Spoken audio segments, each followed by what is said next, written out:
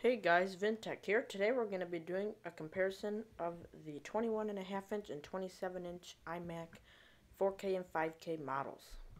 So first up we have the 21.5 inch 4K screened model. Um, this one is pretty much identical to the 27 inch. There's only a couple differences which we'll get into later, but for now let's do the similarities.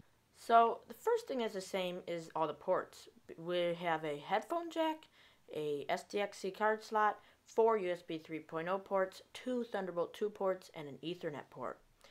Um, on the back here also we have the power port and the lock where you can lock it to a table. Um, we, here's our vents and one massive difference is no upgradable RAM slots. So that's a disappointment. So if you're going to want RAM, you better get it when you buy it. Anyways, we also have a contoured power button for easy access. Now, the grill in the front of the Mac is a beauty. It is very well hidden, which is also, I do believe it's intake and the speakers, which these speakers sound pretty good, and uh, they also very well hidden. So, thumbs up for those things. Um, on the top here in the back, we have the Apple logo, which is non-metal, so it allows all the radio frequencies in and out of the device. Also on the top, the very top, we have two du uh, dual headphones, uh, one in the back and one facing upwards to capture your sound very well. Um, so here is the device, side view, and it only gets down to like 5 millimeters thin on there. Uh, 720p camera, it's not the worst, but it's definitely better than the 480 on that MacBook.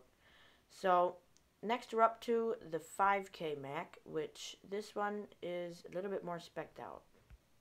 This Mac is my daily driver, so I went ahead and I bought the best one I'll show you, which we'll go over later. Um, but same exact design, everything is the same except for, of course, the screen size, screen resolution, and the RAM slots, and a couple internals. But same ports, headphone jack, SDX card slot, four USB 3.0s, two Thunderbolts, and a gigabit Ethernet. Uh, there they are again, which I don't use any of the Thunderbolts at this moment, but I will be getting some displays in the future. So there you see the RAM door, which on this thing, I only got 8 because I'm going to buy a third-party RAM and upgrade it cheaper. So I'll do a video on that later, but definitely something that's helpful. So again, we have the Apple logo, which is just the same exact size, and it allows for all the radio frequencies in and out of the metal shell because they can't make it through that. So they use the Apple logo, which was pretty smart. Again, dual microphones, one on the top of the device and one on the back of the device. Panning around the device, we see all of our I.O. ports, our plug, and our Kingston, Kingston something like that lock so no one can steal it, along with our contoured power button for easy feeling around the back of the device. This device is a little bit longer, wider, taller, everythinger it is 12 pounds heavier, weighing in at 27 pounds.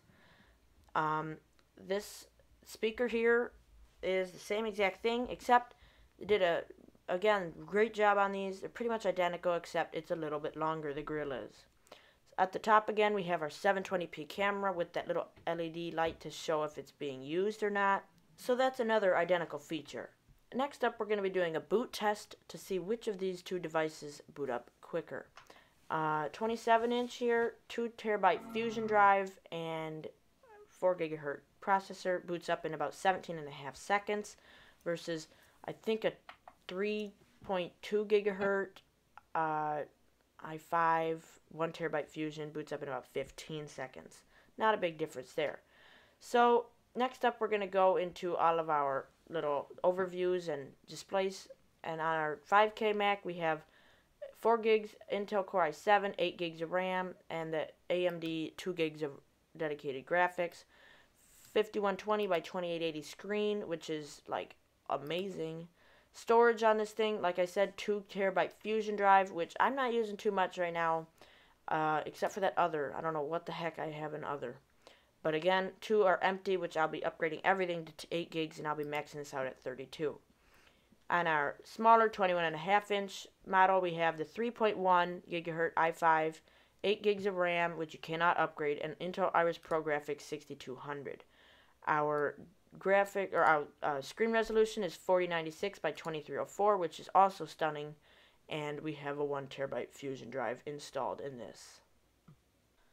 So we're going to use the Black Spic, Black Speed, Black Test, Magic Test, Designer Speed Test disc, and uh, we'll see that we get about here we have about 170 in the right and 550 in the readish and actually maxed out at 187 in the right speed and 547 in the read speed. Um, on our 21 and a half inch Mac, starting the test, we get about 300 in the right and about 784 in the read. So you'd think that the 5K would do better as it's maxed out more, but it actually didn't. So on this, we ended up finishing with 244 for re write and 704 for read. So that's a little bit surprising. So I did a Geekbench score on them too, and on our 27 inch, we got a 4008 single core score and a 15,532 multi core score. Versus the 21 and a half inch, we got a 3,402 single core score and 11,412. So slight gains in the more powerful 27 inch. Now I'm going to be exporting an 18 gigabyte, I think it's 18 gigabyte file onto a drive and uh, I'm going to skip this because it took it quite a while, but we'll come back to it. And I put it on a USB 3 drive, don't worry, it's like up to date.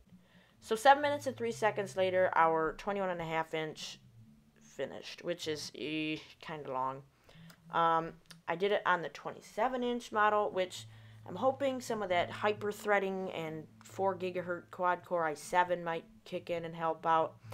And you'll see that it did help out by a long shot, finishing at 4 minutes and 11 seconds. So definite gains in exporting videos.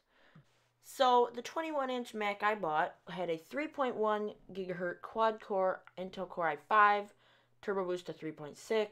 It had the standard 8 gigs of RAM, but I did make sure I got the 1 terabyte Fusion drive because I didn't want to rely strictly on that 5400 RPM. I got AppleCare, which I will be putting on in a different video. As for the bigger 27 inch Mac, I went with the more specced out model, which I then upgraded to, a 4 gigahertz quad core i7, which turbos to 4.2 gigahertz. I went with the standard 8 gig since I'm going to upgrade it later and I made sure I had that 2 terabyte Fusion drive with the 128 gigabyte flash drive inside of it also. I got the regular standard graphics and I got the regular Magic Mouse. So I ended up paying $2,464 for that. So guys, I hope you liked this video. Tried to focus on why you should buy uh, what product and I mean, I think that if you have the money, go with the 5K because it not only does it have a faster GPU, uh, uh, CPU, uh, storage, RAM, uh, RAM's the same, but it's upgradable. This one is. This one you're stuck with what you get.